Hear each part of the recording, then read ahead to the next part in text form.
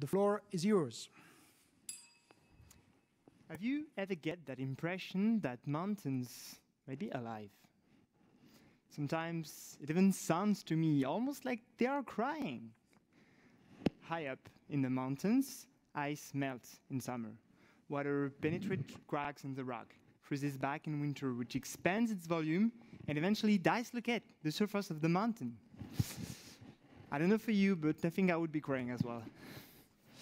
Anyway, the bad thing about this is that a rockfall high up in the mountain can result in a major landslide down in the valley.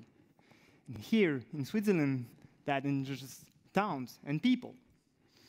But the good thing is, it is not completely unpredictable. Think of it as a pencil under pressure that would crack before it actually breaks. In the same way, we can detect the sound made by the mountain crying, and by doing so, monitor directly from Zurich the state of the mountain. And we can evaluate how bad the damage is, or how likely it is to fall apart in the next days. To do that, what we do is that we put many sensors directly on top of the surface of the mountain, which are connected through wireless communications. Here, we are facing two main challenges. First, these mountains are quite difficult to access. We cannot afford a sensor to drain its battery out in two days or even in two months. We are aiming for years of autonomous lifetime, at least. Second, it is paramount that we can control this communication efficiently. That means that if a mountain is crying, the base station will detect it and warn the inhabitant in the valley if necessary, preferably before they have a rock through the roof. Closing that loop in time is called providing real-time guarantees.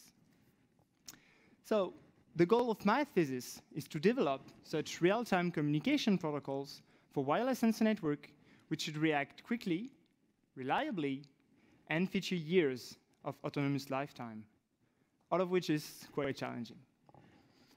Today, I'm interested in alpine monitoring, but the potential field of application for this research is much wider. We're all starting towards smart clothing, living in smart houses. Tomorrow, we'll move around smart cities in autonomous cars. All of this will happen. And to be safe, we will need automatic controllers to react and communicate with the environment in real time. So eventually, my work will contribute to a safer future for all of us. Thank you. Thank you, Romain. So let us the mountain cry in the altitude and call our third candidate.